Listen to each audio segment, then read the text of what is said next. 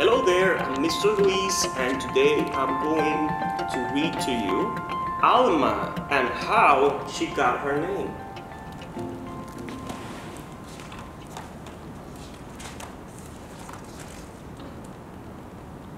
Alma Sofia Esperanza Jose Pura Candela had a long name, too long if you ask her.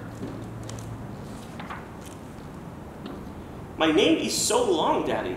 It never fits, Alma said. Come here, he said. Let me tell you the story of your name. Then you decide if it is. Sofia was your grandmother, he said.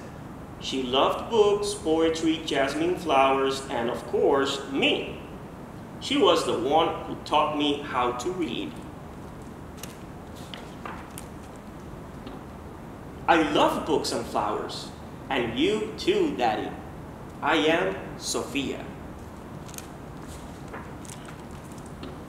Esperanza was your great grandmother, he continued. She hoped to travel but never left the city where she was born. Her only son grew up to cross the seven seas. Wherever her sailor son went, so did Esperanza's heart. The world is so big. I want to go see it, Daddy. You and me together. I am Esperanza. Jose was my father, Alma's daddy said. He was an artist with a big family like many people had back then. Early each morning, he walked to the mountains and the plazas to paint everyday life. Sometimes I went along. Your grandfather taught me to see and love our people.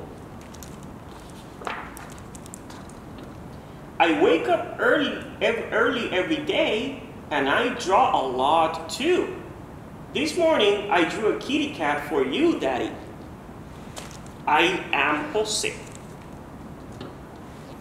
Pura was your great aunt. She believed that the spirits of our ancestors are always with us watching over us.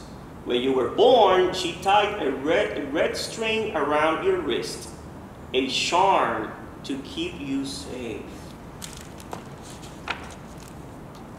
Hello, Pura, it's me, Alma. Candela was your other grandmother. She always stood up for what was right. I am Candela.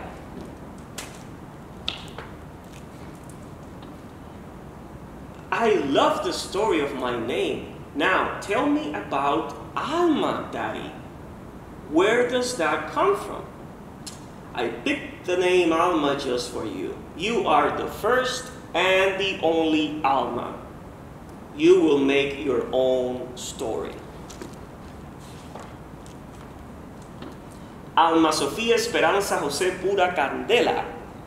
That's my name, and it fits me just right. I am Alma, and I have a story to tell. And this is the story of Alma. I'll see you at the library. Bye!